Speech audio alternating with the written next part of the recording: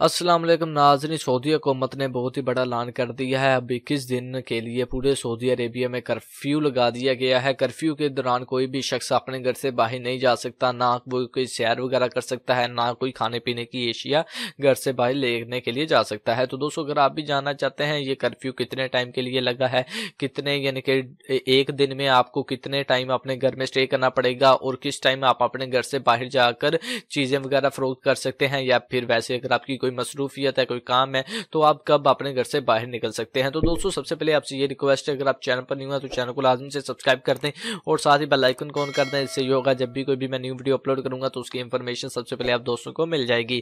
تو ویڈیو کا آغاز کرتے ہیں، شاہ سلمان بن عبدالعزیز نے کورونا وائرس کے پھیلاؤ سے بچنے کے لیے سعودی عربیہ میں اکیس دن کا لیے کرفیو لگا دیا گیا ہے، جس کا آغاز تیئیس مارچ یعنی کہ پیر والے دن سے ہوا ہے۔ اب اکیس دن میں اکیس دن کے لیے سعودی عربیہ میں کرفیو لگا دیا گیا ہے اور جو کرفیو کا ٹائم رکھا گیا ہے وہ شام سات سے لے کر صبح چھ بجے تک اکیس دن کے لیے کرفیو جاری رہے گا۔ یعنی کہ شام سات بجے سے لے کر صبح چھ بجے تک آپ کو اپنے گھر میں ہی رہنا پڑے گا۔ اگر آپ شام سات بجے کے بعد اپنے گھر سے باہر نکلتے ہیں تو اس صورت میں آپ کو شرطے پکڑ لیں گے، آرمی والے پکڑ لیں گے تو مزید مسئلہ مسائل ہو سکتا ہے۔ لہٰذا آپ شام سات بجے سے لے کر صبح کے چھ بجے تک اپنے گھر میں رہیں اس کے بعد آپ باہر جا سکتے ہیں، اپنا کاروبار کر سکتے ہیں، یا پھر کھانے پینے کی کوئی ایشیا آپ نے بائی کرنی ہے، تو وہ آپ جا کر خرید سکتے ہیں۔ تو دوستو، صرف اتوار والے دن ہی ٹوٹل ایک سو انیس ایسے شخص ہیں جو کہ کرونا وائرس کے شکار ہو چکے ہیں۔ تو اب تک جو ٹوٹل سعودی عربیہ میں کرونا وائرس کے شکار ہیں، ٹھیک ہے، کرونا وائرس کے مریض ہیں،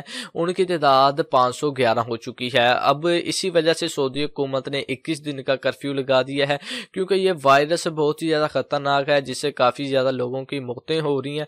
تو لہٰذا آپ بھی اس کا خیال کریں، اپنے ہاتھ پاؤں یعنی کہ خود کو صاف رکھیں، زیادہ سے زیادہ اپنے ہاتھوں کو دھوئیں، ٹھیک ہے، اپنے چہرے کو، اور زیادہ سے زیادہ آپ کریں اور زیادہ سے زیادہ پانی پئیں۔